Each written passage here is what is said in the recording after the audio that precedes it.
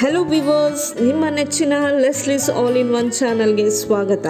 ಇವತ್ತಿನ special recipe mutton Afghani ತುಂಬ ಅದ್ಭುತವಾಗಿರುವಂತಹ gravy ಪಕ್ಕ ಹೋಟೆಲ್ ಸ್ಟೈಲ್ನಲ್ಲಿ ಮಾಡಿರುವಂಥ ಈ ಗ್ರೇವಿ ಚಪಾತಿ, ರೊಟ್ಟಿ, ನಾನ್ಗೆ, ಇದು ತುಂಬ ಒಳ್ಳೆ ಕಾಂಬಿನೇಷನ್ ಅಂತ ಹೇಳ್ಬೋದು. ಇದರಲ್ಲಿ ಸ್ಮೋಕಿ ಫ್ಲೇವರ್ ಹಾಕಿರೋದ್ರಿಂದ ತುಂಬ ಅದ್ಭುತವಾಗಿ ಬಂದಿದೆ ಈ ಗ್ರೇವಿ ಹೋಟೆಲ್ನಲ್ಲಿ ಕೂತ್ಕೊಂಡು ಊಟ ಮಾಡ್ತಿದ್ದೀನೇನೋ ಅನ್ನೋಷ್ಟು ಫೀಲ್ ಆಗುತ್ತೆ. ತುಂಬ ಚೆನ್ನಾಗಿದೆ. ದಯವಿಟ್ಟು ನೀವು ಟ್ರೈ ಮಾಡಿ ಅಂತ ಹೇಳ್ತಾ ಇವತ್ತಿನ ವಿಡಿಯೋನ ಸ್ಟಾರ್ಟ್ ಮಾಡ್ತಾ ಇದ್ದೀನಿ. ಈಗ ಮೊದಲಿಗೆ ಇಂಗ್ರೀಡಿಯೆಂಟ್ಸ್ನ ನೋಡ್ಕೊಳ್ಳೋಣ. ಒಂದು ಇಡೀ ಕಟ್ಟಷ್ಟು ಕೊತ್ತಂಬರಿ ಸೊಪ್ಪು, ಅರ್ಧ ಟೀ ಸ್ಪೂನಷ್ಟು ಕಾಳು ಮೆಣಸಿನ ಪುಡಿ, ಎರಡು ಟೇಬಲ್ ಸ್ಪೂನ್ನಷ್ಟು ಕಸೂರಿ ಮೇಥಿ ಎರಡು ಟೀ ಸ್ಪೂನಷ್ಟು ಶುಂಠಿ ಬೆಳ್ಳುಳ್ಳಿ ಪೇಸ್ಟ್, ಇನ್ನೂರೈವತ್ತು ಎಂ ಎಲ್ ಅಡುಗೆ ಎಣ್ಣೆ, ಎರಡು ಗೆಡ್ಡೆಯಷ್ಟು ಬೆಳ್ಳುಳ್ಳಿ ಒಂದೂವರೆ ಇಂಚಷ್ಟು ಶುಂಠಿ, ಐದು ಹಸಿರು ಮೆಣಸಿನಕಾಯಿ, ಒಂದು ದೊಡ್ಡ ಗಾತ್ರದ ಈರುಳ್ಳಿ, ಮುನ್ನೂರು ಎಂ ಎಲ್ನಷ್ಟು ಮೊಸರು, ಇನ್ನೂರೈವತ್ತು ಎಂ ಎಲ್ ಫ್ರೆಶ್ ಕ್ರೀಮ್ನ ತೊಗೊಂಡಿದ್ದೀನಿ. ಎರಡು ಟೇಬಲ್ ಸ್ಪೂನ್ನಷ್ಟು ಚಾಟ್ ಮಸಾಲ, ಎರಡು ಟೇಬಲ್ ಸ್ಪೂನ್ನಷ್ಟು ಗರಂ ಮಸಾಲ, ಐವತ್ತು ಎಂ ಎಲ್ನಷ್ಟು ತುಪ್ಪ, ನಾಲ್ಕರಿಂದ ಐದು ಲವಂಗ, ಮೂರರಿಂದ ನಾಲ್ಕು ಏಲಕ್ಕಿ, ಒಂದು ಟೀ ಸ್ಪೂನಷ್ಟು ಬೆಣ್ಣೆ ಸ್ಮೋಕಿ ಫ್ಲೇವರ್ ಬರಲಿಕ್ಕೋಸ್ಕರ ನಾನು ಸ್ವಲ್ಪ ಇದ್ದಿಲ್ಲನ್ನು ತಗೊಂಡಿದ್ದೀನಿ. ಈಗ ವಿಡಿಯೋನ ಸ್ಟಾರ್ಟ್ ಮಾಡೋಣ. ನಾನಿಲ್ಲಿ ಅರ್ಧ ಕೆ ಜಿ ಆಗೋಷ್ಟು ಮಟನನ್ನು ತೊಗೊಂಡಿದ್ದೀನಿ. ನಾನಿಲ್ಲಿ ತಗೊಂಡಿರೋದು ಚಾಪ್ಸ್ ಮಟನ್ನ. ಮಟನ್ ಅಫ್ಘಾನಿ ರೆಸಿಪಿಯಲ್ಲಿ ಜಾಸ್ತಿಯಾಗಿ ಚಾಪ್ಸ್ನ ಯೂಸ್ ಮಾಡ್ತಾರೆ. ಒಂದು ವೇಳೆ ನಿಮಗೇನಾದರೂ ಚಾಪ್ಸ್ ಸಿಗದೆ ಹೋದರೆ ಬೇರೆ ಪಾರ್ಟನ್ನು ಕೂಡ ನೀವು ತಗೊಂಡು ಮಾಡ್ಬೋದು. ನೆಕ್ಸ್ಟ್ ನಾನಿಲ್ಲಿ ಎರಡು ಟೇಬಲ್ ಸ್ಪೂನಷ್ಟು ಶುಂಠಿ ಬೆಳ್ಳುಳ್ಳಿ ಪೇಸ್ಟನ್ನು ಹಾಕ್ಕೊಳ್ತಾ ಇದ್ದೀನಿ. ಎರಡು ಟೇಬಲ್ ಸ್ಪೂನಷ್ಟು ತುಪ್ಪ ಹಾಕ್ಕೊಳ್ತಾ ಇದ್ದೀನಿ. ತುಪ್ಪ ಹಾಕೋದ್ರಿಂದ ಒಳ್ಳೆ ಶೈನ್ ಬರುತ್ತೆ, ಹಾಗೆ ಟೇಸ್ಟು ಕೂಡ ತುಂಬ ಚೆನ್ನಾಗಿರುತ್ತೆ. ಸೊ ಹಾಗಾಗಿ ನಾನಿಲ್ಲಿ ತುಪ್ಪನ ಹಾಕ್ತಾ ಇದ್ದೀನಿ. ಈಗ ಮಟನಿಗೆ ಎಷ್ಟು ಉಪ್ಪು ಬೇಕಾಗುತ್ತೋ ಅಷ್ಟನ್ನು ಮಾತ್ರ ಹಾಕ್ತಾ ಇದ್ದೀನಿ. ಅರ್ಧ ಟೇಬಲ್ ಸ್ಪೂನ್ ಹಾಕಿದರೆ ಸಾಕಾಗುತ್ತೆ. ಸ್ವಲ್ಪ ನೀರನ್ನ ಹಾಕ್ಕೊಳ್ತಾ ಇದ್ದೀನಿ. ಜಾಸ್ತಿ ಹಾಕೋದು ಬೇಡ, ಯಾಕಂದರೆ ಮಟನ್ ನೀರು ಬಿಡುತ್ತೆ. ಇದನ್ನು ಒಮ್ಮೆ ಚೆನ್ನಾಗಿ ಮಿಕ್ಸ್ ಮಾಡ್ಕೊಳ್ತಾ ಇದ್ದೀನಿ. ಹಾಗೆ ನಾಲ್ಕರಿಂದ ಐದು ವಿಷಲನ್ನು ತೆಗಿತಾ ಇದ್ದೀನಿ. ನೆಕ್ಸ್ಟ್ ನಾನು ಇಲ್ಲೊಂದು ಮಿಕ್ಸಿ ಜಾರ್ನ ತೊಗೊಂಡಿದ್ದೀನಿ. ಒಂದು ಕಟ್ಟಾಗೋಷ್ಟು ಕೊತ್ತಂಬರಿ ಸೊಪ್ಪನ್ನು ಹಾಕ್ಕೊಳ್ತಾ ಇದ್ದೀನಿ. ಐದು ಹಸಿರು ಮೆಣಸಿನ್ಕಾಯಿನ ಹಾಕ್ಕೊಳ್ತಾ ಇದ್ದೀನಿ. ನೆಕ್ಸ್ಟ್ ನಾನಿಲ್ಲಿ ಬೆಳ್ಳುಳ್ಳಿ ಹೆಸಳನ್ನು ಹಾಕ್ಕೊಳ್ತಾ ಇದ್ದೀನಿ. ಹಾಗೆ ಶುಂಠಿ ಕೂಡ ಹಾಕ್ಕೊಳ್ತಾ ಇದ್ದೀನಿ. ಈರುಳ್ಳಿನ ಕೂಡ ಹಾಕ್ಕೊಳ್ತಾ ಇದ್ದೀನಿ. ಈ ಎಲ್ಲ ಮಸಾಲಾನ ರುಬ್ಕೊಳ್ಳೋಣ. ರುಬ್ಬಿದಂಥ ಮಸಾಲಾನ ಒಂದು ಗ್ಲಾಸ್ ಬೌಲ್ನಲ್ಲಿ ಹಾಕ್ಕೊಳ್ತಾ ಇದ್ದೀನಿ. ಇದೇ ಮಿಕ್ಸಿ ಜಾರಿಗೆ ಮುನ್ನೂರು ಎಂ ಎಲ್ನಷ್ಟು ಗಟ್ಟಿ ಮೊಸರನ್ನ ಹಾಕ್ಕೊಳ್ತಾ ಇದ್ದೀನಿ. ಇದೇ ಮಿಕ್ಸಿ ಜಾರಿಗೆ ನಾನೀಗ ಇನ್ನೂರೈವತ್ತು ಎಂ ಎಲ್ನಷ್ಟು ಫ್ರೆಶ್ ಕ್ರೀಮ್ನ ಹಾಕ್ಕೊಳ್ತಾ ಇದ್ದೀನಿ. ನಾನಿಲ್ಲಿ ಸ್ವಲ್ಪ ನೀರನ್ನ ಹಾಕ್ಕೊಳ್ತಾ ಇದ್ದೀನಿ. ರುಬ್ಲಿಕ್ಕೆ ಈಸಿ ಆಗುತ್ತೆ ಅಂತೇಳಿ, ಯಾಕಂದರೆ ಫ್ರೆಶ್ ಕ್ರೀಮ್ ಮತ್ತು ಮೊಸರು ಎರಡೂ ಕೂಡ ಗಟ್ಟಿ ಇದೆ. ಹಾಗಾಗಿ ನಾನಿಲ್ಲಿ ನೀರನ್ನ ಯೂಸ್ ಮಾಡ್ತಾ ಇದ್ದೆ ಈಗ ಇದನ್ನು ರುಬ್ಕೊಂಬರೋಣ. ನೋಡಿ ಈಗ ಇದು ರುಬ್ಬಿದಾಗಿದೆ. ಈಗ ಗ್ಲಾಸ್ ಬೌಲ್ಗೆ ಹಾಕ್ಕೊಳ್ತಾ ಇದ್ದೀನಿ. ಎರಡು ಪೇಸ್ಟ್ಗಳನ್ನು ಚೆನ್ನಾಗಿ ಮಿಕ್ಸ್ ಮಾಡ್ಕೊಳ್ಳೋಣ. ಈ ಮಿಕ್ಸ್ಚರ್ನ ನಾನೀಗ ಸೈಡಿಗೆ ಇಟ್ಕೊಳ್ತಾ ಇದ್ದೀನಿ. ಕುಕ್ಕರ್ ಈಗ ತಣ್ಣಗಾಗಿದೆ. ಸೊ ಮಟನ್ ಬೆಂದಿದ್ದೇನಾ ಅಂತ ನೋಡ್ಕೊಳ್ಳೋಣ. ನೋಡಿ, ಮಟನ್ ಚೆನ್ನಾಗಿ ಬೆಂದಿದೆ, ಬಟ್ ನೀರು ತುಂಬ ಇದೆ, ಸೊ ಈ ನೀರನ್ನೆಲ್ಲ ಡ್ರೈ ಮಾಡ್ಕೋಬೇಕು. ಇಲ್ಲಿ ಸ್ಟವ್ನ ನಾನು ಆನ್ ಮಾಡ್ಕೊಳ್ತಾ ಇದ್ದೀನಿ, ಯಾಕಂದರೆ ಈ ನೀರು ಕಂಪ್ಲೀಟಾಗಿ ಡ್ರೈ ಆಗಬೇಕಾಗುತ್ತೆ. ನೋಡಿ, ಈಗ ಮಟನ್ ಕಂಪ್ಲೀಟಾಗಿ ನೀರನ್ನ ಅಬ್ಸರ್ವ್ ಮಾಡ್ಕೊಂಡಿದ್ದೆ, ಕಂಪ್ಲೀಟಾಗಿ ನೀರು ಹೋಗಿದೆ, ಇದು ಸಾಕಾಗುತ್ತೆ. ಈಗ ನಾನು ಇದಕ್ಕೇ ಎಣ್ಣೆ ಹಾಕ್ಕೊಳ್ತಾ ಇದ್ದೀನಿ, ಒನ್ ಟೇಬಲ್ ಸ್ಪೂನ್ನಷ್ಟು. ಈಗ ಚೆನ್ನಾಗಿ ಎರಡು ನಿಮಿಷ ಫ್ರೈ ಮಾಡ್ಕೋಬೇಕಾಗುತ್ತೆ. ಮಟನ್ ಇಷ್ಟು ಬಂದರೆ ಸಾಕು, ಯಾಕಂದರೆ ನೆಕ್ಸ್ಟ್ ನಾನಿಲ್ಲಿ ತುಪ್ಪದಲ್ಲಿ ಫ್ರೈ ಮಾಡ್ಕೊಳ್ತಾ ಇದ್ದೀನಿ. ಮುಂಚೆನೇ ಮಾಡಿಟ್ಕೊಂಡಂತಹ ಮಿಕ್ಸ್ಚರ್ಗೆ ಬೇಯಿಸಿ ಫ್ರೈ ಮಾಡಿಟ್ಕೊಂಡಂತಹ ಮಟನನ್ನು ಹಾಕ್ಕೊಳ್ತಾ ಇದ್ದೀನಿ. ಇದಕ್ಕೀಗ ಎರಡು ಟೀ ಸ್ಪೂನಷ್ಟು ಚಾಟ್ ಮಸಾಲಾನ ಹಾಕ್ಕೊಳ್ತಾ ಇದ್ದೀನಿ. ನೆಕ್ಸ್ಟ್ ನಾನಿಲ್ಲಿ ಎರಡು ಟೀ ಸ್ಪೂನಷ್ಟು ಗರಂ ಮಸಾಲನ ಹಾಕ್ಕೊಳ್ತಾ ಇದ್ದೀನಿ. ಅರ್ಧ ಟೀ ಸ್ಪೂನಷ್ಟು ಕಾಳು ಮೆಣಸಿನ ಪುಡಿನ ಹಾಕ್ಕೊಳ್ತಾ ಇದ್ದೀನಿ.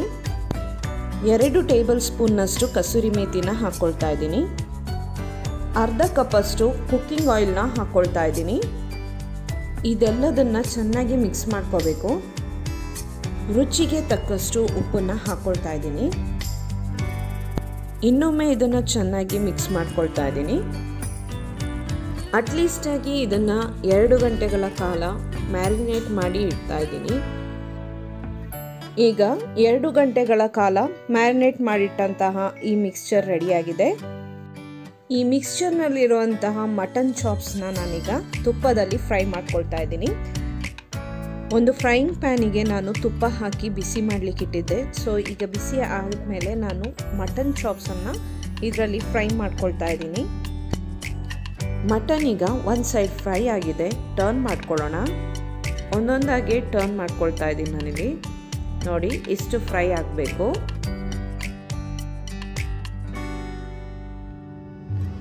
ಈಗ ಎರಡು ಸೈಡ್ನಲ್ಲಿ ಫ್ರೈ ಚೆನ್ನಾಗಿ ಆಗಿದೆ. ನೀವು ನೋಡ್ತಾ ಇದ್ದೀರಾ ಯಾವ ಥರ ಫ್ರೈ ಆಗಿದೆ ಅಂಥೇಳಿ ಇಷ್ಟು ಫ್ರೈ ಮಾಡಿಕೊಂಡ್ರೆ ಸಾಕು. ಈ ಮಟನನ್ನು ನಾನೀಗ ಸೈಡಿಗೆ ಇಟ್ಕೊಳ್ತಾ ಇದ್ದೀನಿ. ನೆಕ್ಸ್ಟ್ ಈಗ ಇನ್ನೊಂದು ರೌಂಡು ಇದೇ ರೀತಿ ಮಟನನ್ನು ಫ್ರೈ ಮಾಡ್ಕೊಳ್ತಾ ಇದ್ದೀನಿ. ಕಡೆಗೆ ಎಣ್ಣೆನ ಹಾಕ್ಕೊಂಡಿದ್ದೀನಿ ಹಾಗೆ ಎರಡು ಏಲಕ್ಕಿ ಮತ್ತು ಮೂರು ಲವಂಗನ ಹಾಕ್ಕೊಳ್ತಾ ಇದ್ದೀನಿ. ತರ್ಟಿ ಸೆಕೆಂಡ್ಸ್ ಇದನ್ನು ನಾನು ಫ್ರೈ ಮಾಡ್ಕೊಳ್ತಾ ಇದ್ದೀನಿ. ಮುಂಚೆ ರೆಡಿ ಮಾಡಿಟ್ಕೊಂಡಂಥ ಮಿಕ್ಸ್ಚರ್ನ ನಾನು ಇಲ್ಲಿ ಕಡಾಯಿಗೆ ಹಾಕ್ಕೊಳ್ತಾ ಇದ್ದೀನಿ. ಇದನ್ನು ಚೆನ್ನಾಗಿ ಎಣ್ಣೆಯಲ್ಲಿ ಫ್ರೈ ಮಾಡಬೇಕು. ಈ ಮಿಕ್ಸ್ಚರ್ನಲ್ಲಿರುವಂತಹ ನೀರೆಲ್ಲ ಕಂಪ್ಲೀಟಾಗಿ ಡ್ರೈ ಆಗಬೇಕು. ಸೌಟನ್ನು ಇಟ್ಬಿಟ್ಟು ನಾನಿಲ್ಲಿ ಲಿಡ್ಡನ್ನು ಕ್ಲೋಸ್ ಮಾಡ್ತಾ ಇದ್ದೀನಿ. ಯಾಕಂದರೆ ಅದರಲ್ಲಿರುವಂಥ ನೀರಿನಂಶ ಎಲ್ಲ ಸಿಡಿಲಿಕ್ಕೆ ಸ್ಟಾರ್ಟ್ ಆಗುತ್ತೆ. ಎರಡು ನಿಮಿಷಕ್ಕೊಮ್ಮೆ ಗ್ರೇವಿನ ಕೈ ಆಡಿಸ್ತಾ ಇರಬೇಕು. ನೋಡಿ, ಗ್ರೇವಿ ಜೋರಾಗಿ ಕುದಿ ಬರಲಿಕ್ಕೆ ಸ್ಟಾರ್ಟ್ ಆಗಿದೆ. ಈ ಟೈಮಲ್ಲಿ ಲಿಡ್ಡನ್ನು ಫುಲ್ ಓಪನ್ ಮಾಡೋಕ್ಕೆ ಹೋಗಬೇಡಿ. ಕೈಗೆಲ್ಲ ಸಿಡಿಯತ್ತೆ. ಸೊ ಹಾಗಾಗಿ ಸ್ವಲ್ಪ ಓಪನ್ ಮಾಡಿ ಗ್ರೇವಿನ ಕೈ ಆಡಿಸ್ತಾ ಇರಿ. ಈಗ ನೀರಿನಂಶ ಎಲ್ಲ ಕಂಪ್ಲೀಟಾಗಿ ಹೋಗಿದೆ. ನೀವು ಲಿಡ್ಡನ್ನು ನೋಡ್ತಾ ಇದ್ದೀರಾ? ಎಷ್ಟೆಲ್ಲ ಸಿಡ್ದಿದೆ ಅಂತೇಳಿ ಗ್ರೇವಿ. ನೋಡಿ, ಗ್ರೇವಿ ಕನ್ಸಿಸ್ಟೆನ್ಸಿ ಈ ಥರ ಬರುತ್ತೆ. ಎಣ್ಣೆ ಮತ್ತು ಗ್ರೇವಿ ಎರಡೂ ಸಪ್ರೇಟ್ ಆಗಿದೆ. ಈಗ ಗ್ರೇವಿ ರೆಡಿ ಇದೆ ಅಂತ ಹೇಳಿ, ಈ ಟೈಮಲ್ಲಿ ನಾನೀಗ ಫ್ರೈ ಮಾಡಿ ಇಟ್ಕೊಂಡಂತಹ ಮಟನನ್ನು ಹಾಕ್ಕೊಳ್ತಾ ಇದ್ದೀನಿ.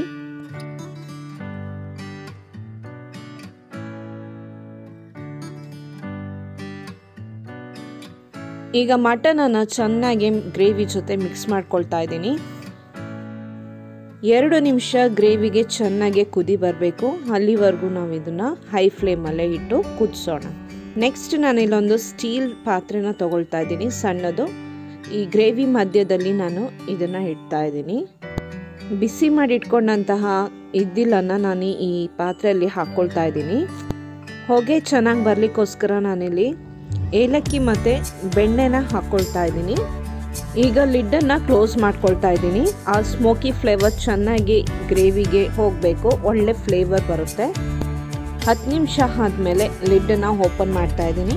ನೋಡಿ, ಸ್ಮೋಕ್ ಕಂಪ್ಲೀಟಾಗಿ ಸ್ಟಾಪ್ ಆಗಿದೆ. ಪಾತ್ರೆನ ನಾನು ಹೊರಗಡೆ ತೆಗಿತಾ ಇದ್ದೀನಿ. ಈಗ ಒಮ್ಮೆ ಚೆನ್ನಾಗಿ ಮಿಕ್ಸ್ ಮಾಡ್ಕೊಳ್ತಾ ಇದ್ದೀನಿ. ಸ್ವಲ್ಪ ಗರಂ ಮಸಾಲಾನ ಹಾಕೊಳ್ತಾ ಇದ್ದೀನಿ. ಈಗ ಇನ್ನೊಮ್ಮೆ ಇದನ್ನ ಕಲಿಸ್ಕೊಳ್ತಾ ಇದ್ದೀನಿ.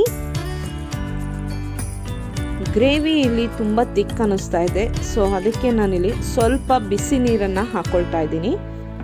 ಗ್ರೇವಿ ತುಂಬ ದಪ್ಪ ಆದ್ರೂ ಚೆನ್ನಾಗಾಗೋದಿಲ್ಲ. ಸೊ ಹಾಗಾಗಿ ಅದಕ್ಕೆ ಸ್ವಲ್ಪ ನೀರನ್ನ ಹಾಕ್ಕೊಳ್ತಾ ಇದ್ದೀನಿ. ಚೆನ್ನಾಗಿ ಒಮ್ಮೆ ಕಲಿಸ್ಕೊಂಡು ಇದನ್ನು ಕುದಿ ಬರೋ ತನಕ ನಾನು ಬಿಡ್ತಾ ಇದ್ದೀನಿ.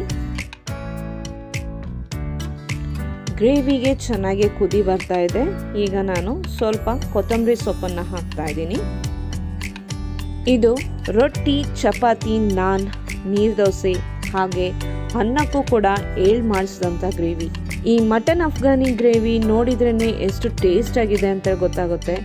ನೀವು ಕೂಡ ಮನೇಲಿ ಟ್ರೈ ಮಾಡಿ. ತುಂಬಾ ಸಖತ್ತಾಗಿದೆ ತುಂಬಾ ಟೇಸ್ಟ್ ಆಗಿದೆ ಹೋಟೆಲಲ್ಲೇ ಕೂತ್ಕೊಂಡು ಊಟ ಮಾಡ್ತಿದ್ದೀರಾ ಅಂತ ಖಂಡಿತವಾಗ್ಲೂ ನಿಮಗೆ ಅನಿಸೇ ಅನಿಸುತ್ತೆ. ದಯವಿಟ್ಟು ಟ್ರೈ ಮಾಡಿ ಅಂತ ಹೇಳ್ತಾ ಈ ವಿಡಿಯೋನ ನಾನು ಮುಗಿಸ್ತಾ ಇದ್ದೀನಿ.